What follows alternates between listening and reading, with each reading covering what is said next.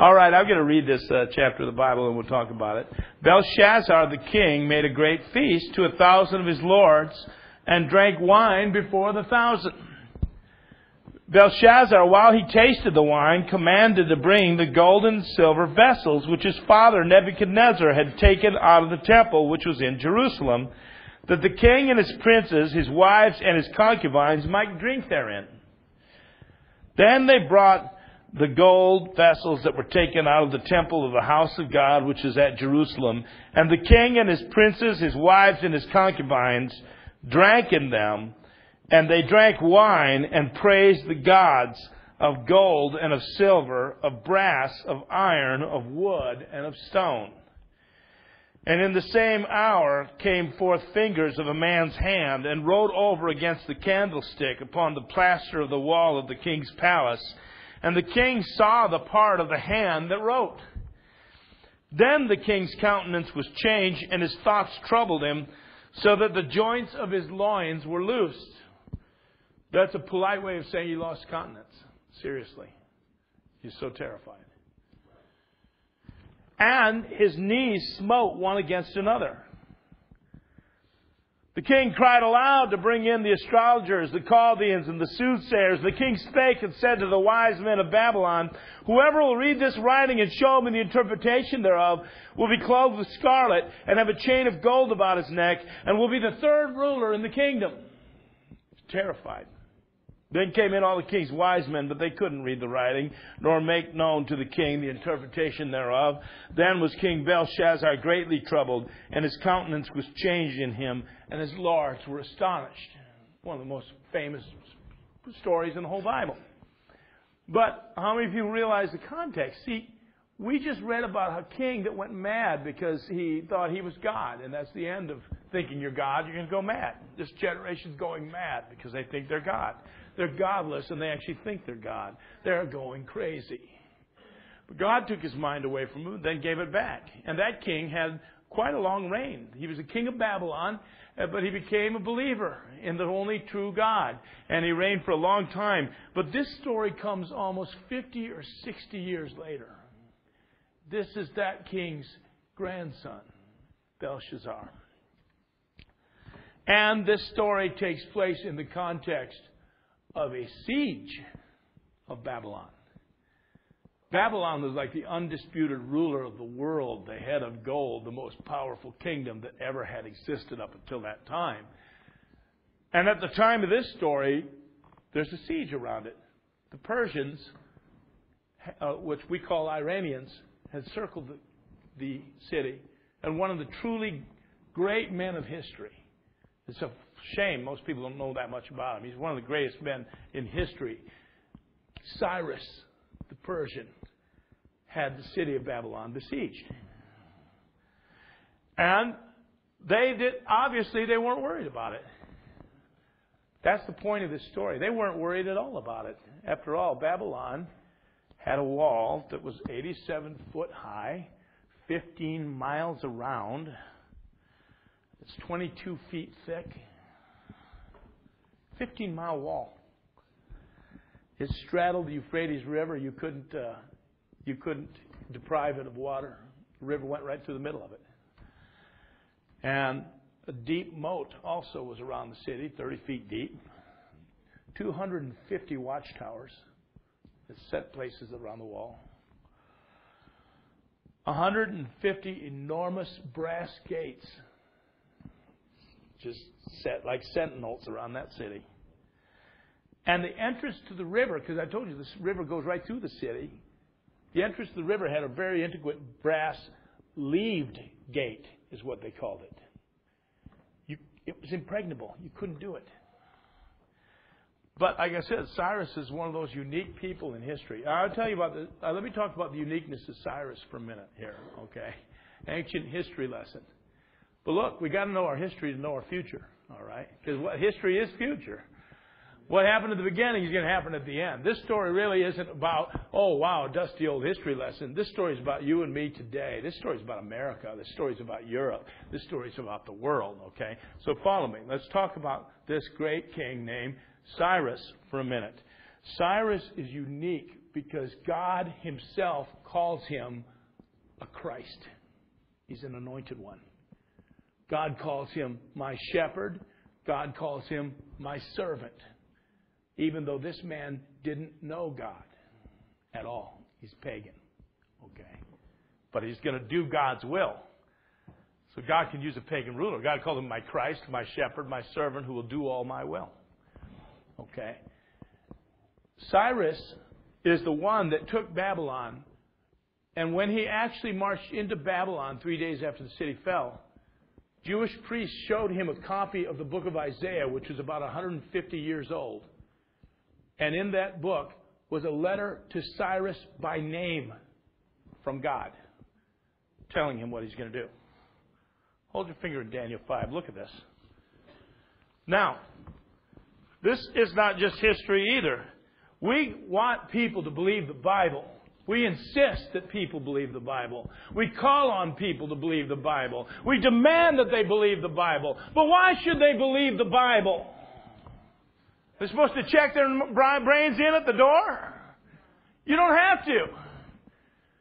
God has credentials, and the credentials are prophecies that were fulfilled that were spoken hundreds of years previously. And this is a great example of one of them. This is recorded not only in biblical history, but secular history, the story of Cyrus the Great. And look what God says in Isaiah 44, verse 27. God, uh, thus said, oh yeah, let's see. Verse 27 is where we'll start. He's talking about what God will do. That God will say to the deep, be dry, and will dry up the rivers and that saith of Cyrus, He's my shepherd, and will perform all my pleasure, even saying to Jerusalem, You will be built, and to the temple, your foundation will be laid. When Cyrus became king, he took over Babylon, he was the king of the world. One of the first acts he did is said, I want the Jews to go home, and I want to finance the building of their temple, and I'm going to make sure this thing happens. Why would a pagan king send the Jews home and finance the building of their temple? because God ordained that he would. Before he was even born, God had a letter to him in the book of Isaiah 150 years earlier. And when the Jewish priest showed Cyrus this, he was astonished. You would be too. Look at verse 1 of chapter 45. Unfortunate chapter break here. Shouldn't have broke. Thus saith the Lord to his anointed, to Cyrus, whose right hand I've held, to subdue nations before him. I will loose the loins of kings, to open, bef- loose the loins of kings. That prophecy was fulfilled in Daniel 5. The king lost his loins. To open before him the two leaved gates. They didn't even exist when Isaiah saw this vision. You can open the two leaved gate. Now you can see how this actually happened in history. And the gates shall not be shut. I will go before you and make the crooked places straight. I'll break in pieces the gates of brass and cut asunder the bars of iron. Those gates of brass didn't exist yet. 150 brass gates.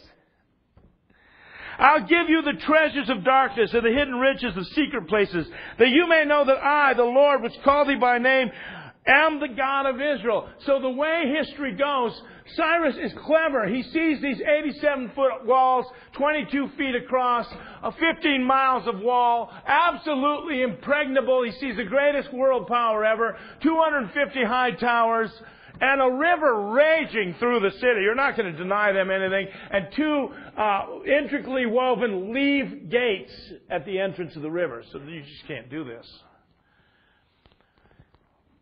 And that, those leave gates were not on the outside of the city. The river ran under the wall. They were on the inner wall.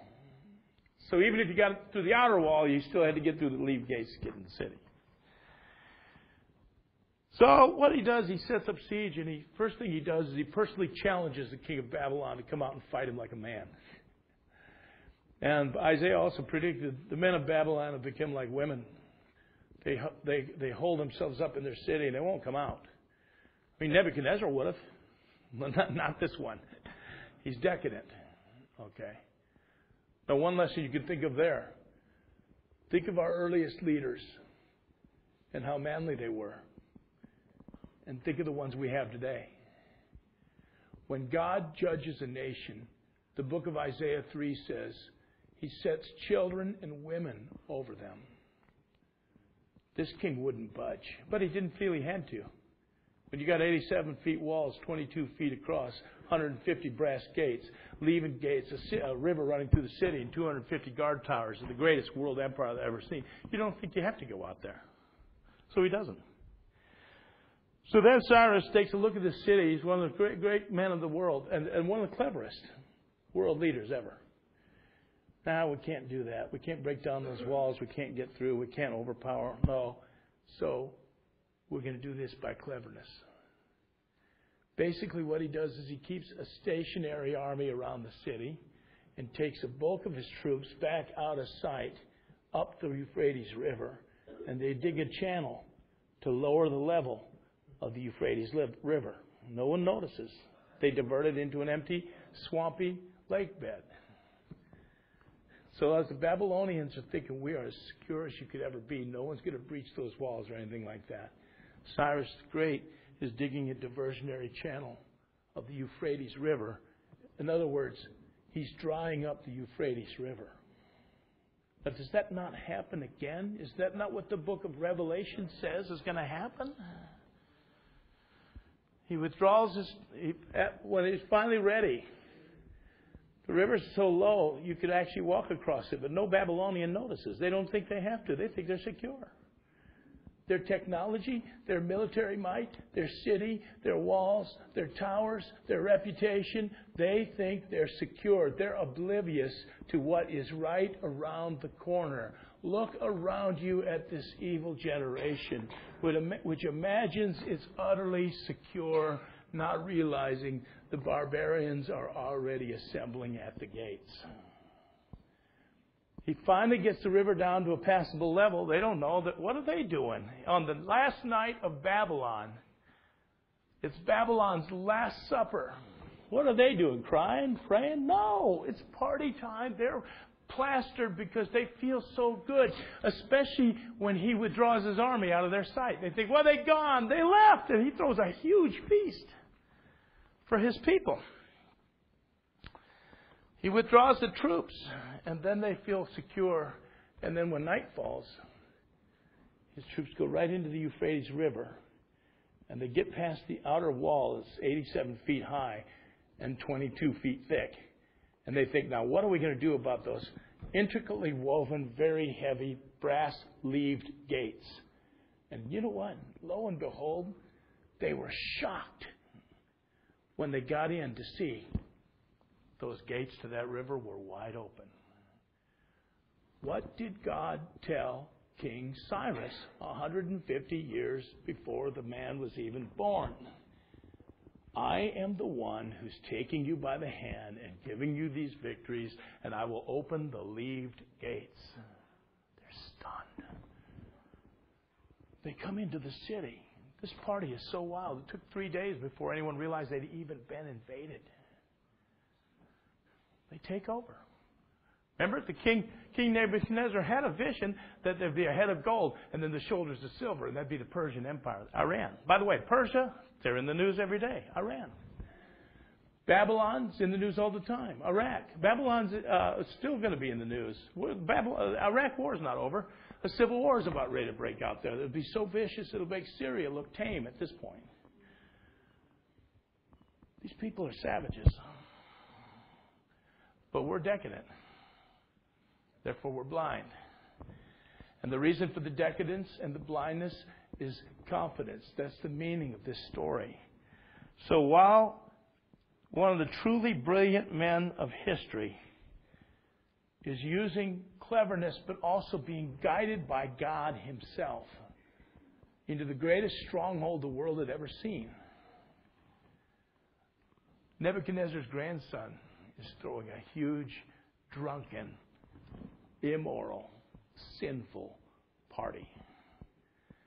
Once again, look around you. Jesus is just about ready to come. Ancient prophecies are being fulfilled. We're so sure of our technology and our military prowess. We don't realize the gates are open and the people at the top are oblivious to really what's going on. They're absolutely oblivious to what's about ready to break forth. It's exactly what Paul the Apostle said. When they say peace and safety, then sudden destruction shall come upon them, and they shall not escape, for it shall come as a, a labor upon a woman with child. And that's exactly what happened in this story. But take a look, a closer look at this night of revelry. See, because Babylon has a spiritual meaning, as I said in the first chapter of Daniel. Babylon is a city. Babylon is a region. We had a headquarters over there in the Iraq War. Babaloo uh, uh, division. Babylon is a region. Babylon is a city. But Babylon is much more than that. Babylon is a type of man in his proud independence and defiance of the only true God. So when the Bible says at the end, Babylon the Great is fallen, it's fallen, Babylon is fallen. Not just talking about Iraq. It's talking about the West. It's talking about the modern world talking about the technological paradise that we've made for ourselves, talking about the ones who throttled morality and marriage, who promote homosexuality and, and, and abortion, who love death so much. That's the Babylon that's on the verge, like a ripe fruit, ready to be plucked right off the branch. Babylon the Great is fallen, is fallen. And God likens Babylon to a harlot because there's a prostitute element. Everything's for sale. I think this thing with the Secret Service men, that's not just a news story. That's a message from God about what's going on. That's a message from God about what's happening. How the faithful city has become a harlot. And so much more. Babylon is a false religious system and false religion is coming to its apogee. Babylon is a false economic system. Because when the John the Apostle saw a vision of Babylon in Revelation, one of the visions he saw almost looked like one of our shopping malls. Or maybe like eBay or the internet or something. You can buy everything there. You can get anything you want. You can pay, uh, if you've got the money, then you can have anything. No consideration of morality, no fear of God, no fear, uh, no consideration of anything. All is for sale at Mystery Babylon. It's like a huge shopping mart. And the last thing you can get, and probably of the cheapest value, is the souls of men. I wonder how many young kids people have been totally corrupted by the pornography that predominates the internet. I wonder how full hell shall be because this generation ridiculed and mocked God and everything sacred and holy. How full, how empty hell is, how unsatisfied it is. More and more must pour in there as this evil generation actually ridicules what they once knew. And on the eve of the destruction of Babylon, where do we find them? Are they supplicating God? Are they praying? Are they soul searching? Are they humbling themselves? Their false confidence leads them into the biggest drunken party that you've ever seen. It went on so long that it took three days before they discovered that they'd just been taken over. But the party is focused on. The night of revelry is looked at closely. And so you see in Daniel chapter 5 that there comes a tipping point for Babylon, a point of no return. I wonder how close we are to it. An obscene idea comes into the mind of Belshazzar because, first of all, you've got to understand the mindset of Babylon. We defeated the God of the Jews. He's nothing. That's a non issue. That's the mindset of our leadership. Christianity is a non issue. You can't believe how far they are from normal people in this country, from the normal heartland people. I'm not saying the normal people are all right. This country's really backslidden, okay? But you can't believe how, how much of a settled question it is that there's nothing to religion, nothing to Christ, nothing to God, to our leaders and elite. It's just like we defeated that, that's over, that's a done deal. We're making a new world without it. Well, that's the way Babylon was with, with the God of the Bible, the only true God. They defeated him and destroyed his temple and took their people into captivity, and that was that. It's done. By the rivers of Babylon, there we laid down our harps and wept whenever we remember Zion. They, they took it out. So he has an obscene idea at the height of the party. Hey, go get the vessels from the temple of God in Jerusalem and bring them out so that we can really we can drink out of them. Basically, it's not a mistake. It's a real statement. It's I'm not intimidated by him, and he doesn't have any power. And I'm going to demonstrate that by profaning these sacred vessels. What is the temple? The temple. The temple was the teaching, the only real teaching in the whole world other than the Torah itself, of who Jesus would be. The temple was the representation of who Jesus would be and what he would do. It's a living object lesson. It's the greatest object lesson ever given. It's the greatest teaching example ever given. Is the temple of the Lord in Jerusalem. And these Babylonians who plundered that temple under God's power, at God's command, they got so high on their self-confidence, so full of ego, so full of pride at their accomplishments, that this obscene idea comes to the king. Go get the vessels, the holy sacred vessels that we plundered from that defeated God. Bring them in because we're going to party, man. And so their drunken orgy now involves sacred objects. That's the problem with Babylon. And that's the problem with our modern Babylon. That there's no sense of sacred or holy. Doesn't the Bible say a very important insight in the book of Proverbs? Don't miss this by its familiarity. The book of Proverbs, uh, chapter 9 says, By the knowledge of the holy comes understanding. No, it doesn't say by the knowledge of the Holy One. He's just talking about the concept of holy. What's the concept of holy? The concept of holy is look, there's someone above me. Man's not everything. There are some things that you dare not profane. And God has allowed certain things in this world as projections of holy. God Himself is holy. Holy means other. Holy doesn't just mean pure. Holy doesn't just mean sinless. That's a negative word. Holy means other, separate. And God has instituted certain things in the world of man to give us some idea, some concept of holy, some understanding. Sex is holy. Sex is holy. It's other. It's not common. Marriage is holy. It wasn't ordained by man. Anybody here? Who's the author of marriage? God is. From the beginning of time, for this cause Adam prophesied. For this cause shall a man leave his father and mother and cleave to his wife, and they two shall be one flesh. Marriage is holy. What's holy mean then? Holy is the opposite of holy is profane, which means common.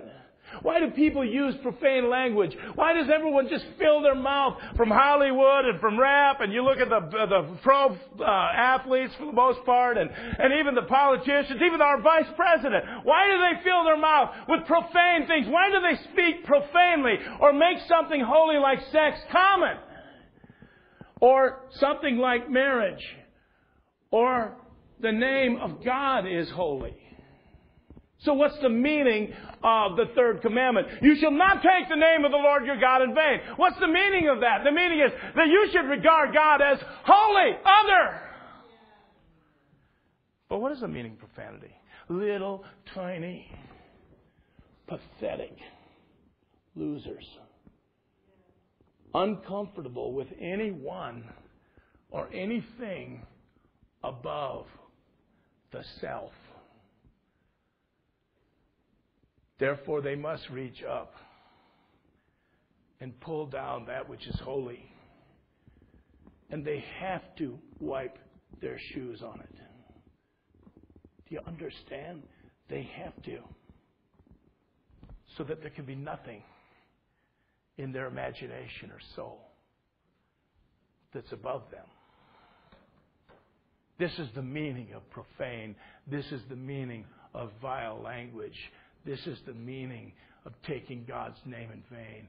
Here's the nightmare that even some Christian young people, because it's become such a profane generation, will use F words and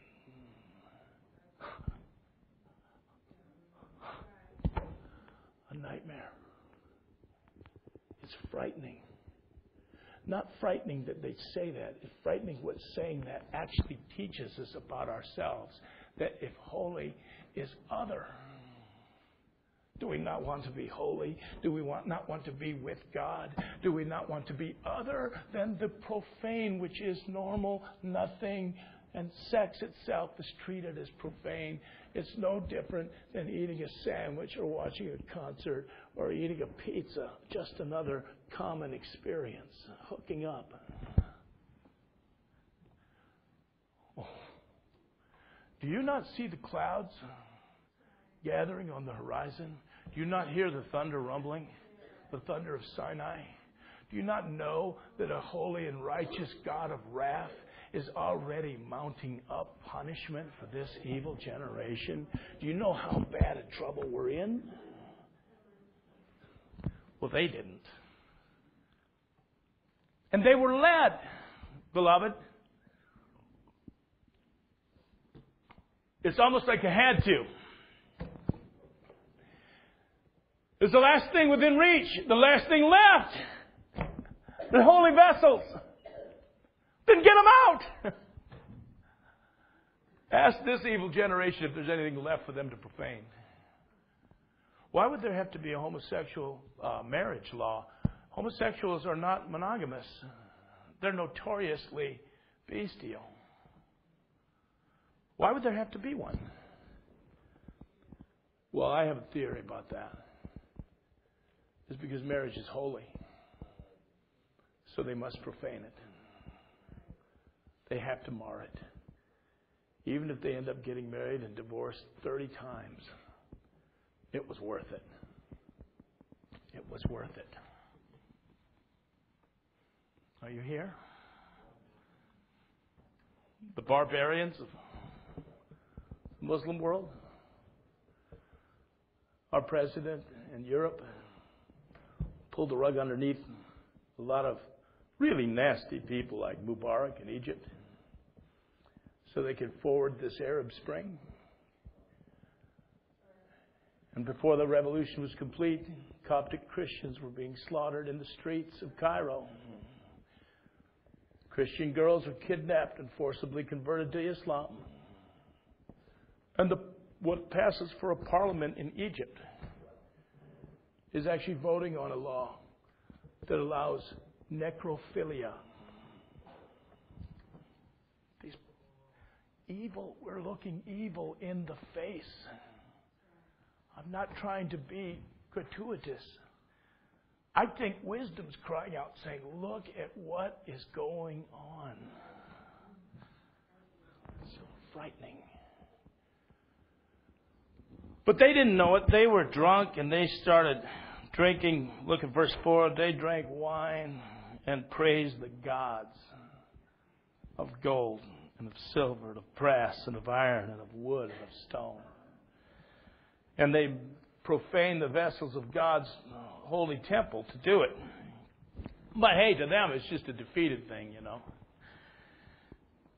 But then the king is terrified because the way it describes it, it's just like out of the wall projects a hand and starts writing. It's frightening countenances change. His thoughts trouble him.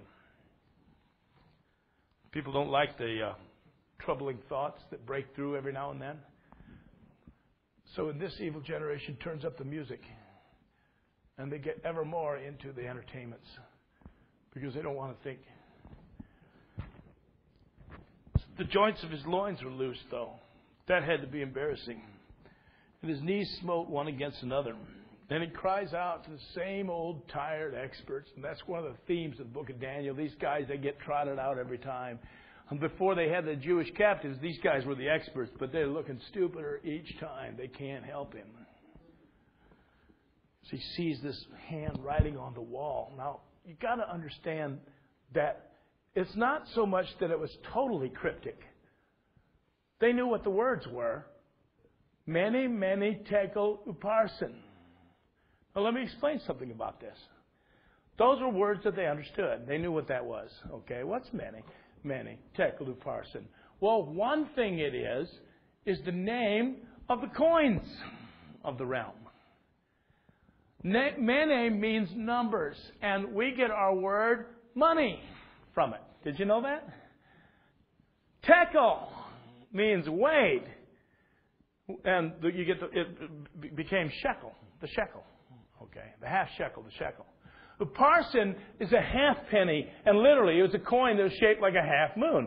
It's a split penny because parsin means split, but also this is a pun. Parsin also means Persian. Okay, split. So they knew what the words were. It'd be about like if you saw a hand all of a sudden writing nickel, nickel, quarter, dime. Okay, I know what that is, but what's the interpretation? So also this evil generation. They know what something really bad is coming. The problem is they lack an interpretation and they trot the experts out and the experts have no real answers. The experts don't even tell the truth anymore. From the time they started saying, you know what? Whatever this is, it's not Islam. Islam's a religion of peace. You know these experts are worthless. Utterly worthless. Liars. And they have a political axe to grind. The experts won't help with these problems. Then the king is perplexed. The party's in danger of being ruined. You don't want that, right? Don't ruin the party. And so he summons the queen mother. This was the wife of Nebuchadnezzar. She's not at the party, to her credit. She was probably a believer. Now listen. She remembers an old asset that the kingdom once had. There's a dusty old guy that we captured from the Jews a long time ago. Bring him out. Maybe he can help. And I'd like, uh, well, if you notice verse 13. Then was Daniel brought before the king, and the king spoke and said unto Daniel, Are you that Daniel which are the children of the captivity of Judah, whom the king my father brought out of Jewry? Do you notice what's in that statement? Pride. You one of those captives that we took? And then he says, I heard of you that the Spirit of the gods is in thee, and that light and understanding and excellent wisdom is found in thee. The disdain of our leaders, the disdain of our elite, not just political, opinion shapers, media, arts, education, the disdain they have for Christians. You one of those we defeated a long time ago? One of those Bible beating fundamentalists? I hear, though, that you can solve riddles. This is the way some people look at Bible prophecy. There is an interest in Bible prophecy, but be careful of the interest is no different than the interest in Nicod- uh, what's that guy Nostradamus or a few of the other. You know, it's just a curio thing, a parlor uh, interest. Something is mildly interesting. A Discovery Channel might have something hidden secrets or mysteries. No, prophecy makes moral demands. Prophecy comes to pass and then demands, what are you going to do? You got to get right with God. Hurry up and get right with God because God spoke this a long time ago and now it's come to pass. There's nothing curious about it. It makes a moral demand. And so this guy brings up the old relic from his grandfather's day, the old Jewish captive that we long ago defeated says, I hear you can solve riddles. And Daniel says, well, I can't, but God, God can. But I, before I do anything, Daniel brings in the moral lesson. And the moral lesson is this. This is pretty pretty good. This teaches about witnessing that always call men to repentance. He says, King, you know the story about your grandfather. How he thought that he was God until God took his mind away and reduced him to nothing. And then, wonder of wonders and miracle of miracles, God put him right back on his throne when he got his right mind back. And you know it. You know it. Verse 17 Daniel answered, said to the king, Let thy gifts be to yourself. I don't want your gifts. He says, You solve this riddle, I'll make you third in the kingdom. I'll give you a robe. I'll give you uh, rings and jewels. I'll give you position. What good's position in a dying empire? The last thing you want to be is third in the kingdom. When the Persians come in, I don't know anything here.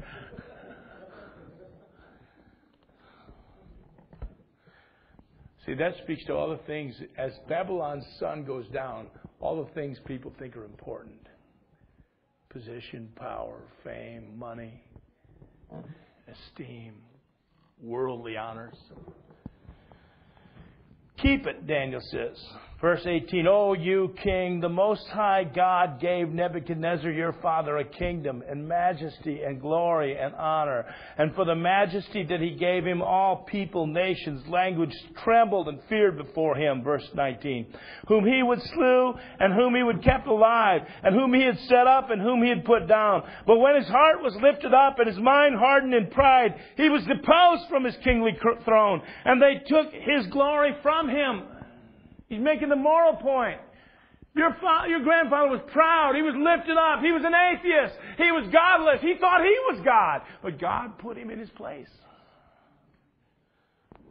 He was driven from the sons of men. His heart was made like beasts. His dwelling was with the wild asses. They fed him with grass like oxen. His body was wet with the dew of heaven till he knew that the Most High God ruled in the kingdom of men and that he appoints over it whoever he wants. And you, his son, Belshazzar, you have not humbled your heart. Notice Daniel just doesn't just tell him the riddle. He makes him hear the moral point and drives home. You should, you should have learned from that. Look at verse 22. Though you knew all this. People of our generation are not in trouble for what they don't know. They're in trouble because of what they do know. And our job is usually not to tell them what they don't know. Our job is to drive home what they already know, but they're fighting. He says, but you've lifted up yourself against the Lord of heaven, and they brought the vessels of the house before thee, and you and your lords, your wives, and your concubines have drunk wine in them, and you praise the gods of silver and gold and brass and iron, wood and stone, which see not, nor hear, nor know, and God in whose hand thy breath is, and whose are all thy ways, you have not glorified him. That's the ultimate and primal sin. The primal sin of everybody is the refusal to give God the glory. Then was the part of the hand sent from him, and this writing was written. And this is the writing that was written. Mene, mene, tekel, upharsin. And this is the interpretation of the thing. Here's our job again. They see the handwriting on the wall. Your job is to know Bible prophecy so you can point it to them. Here's the meaning of that stuff that's going on over there in Syria, Syria's in the Bible.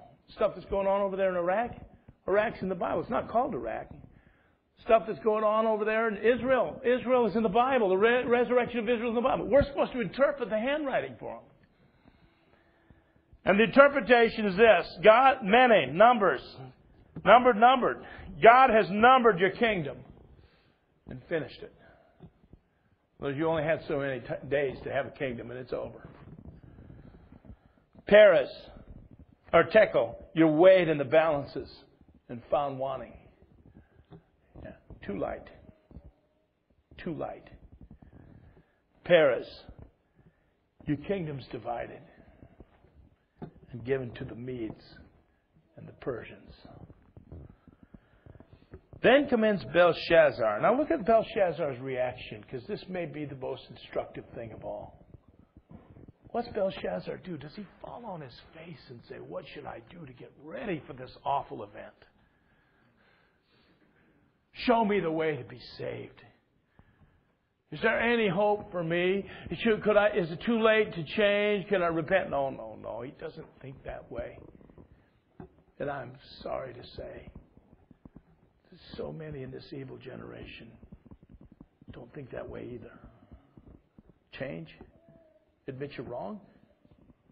Yeah, man, it's cool, these prophecies. It's cool, all these predictions. Cool, all this stuff of the world. All right, give him his medal. Give him his gold. Give him his silver. Put a, put a ring on his finger. Oh, praise Daniel. Last thing they do, though, is admit they're wrong and humble themselves and repent. That's why I've been gripped by such a realization that hell from beneath is absolutely restless to receive more.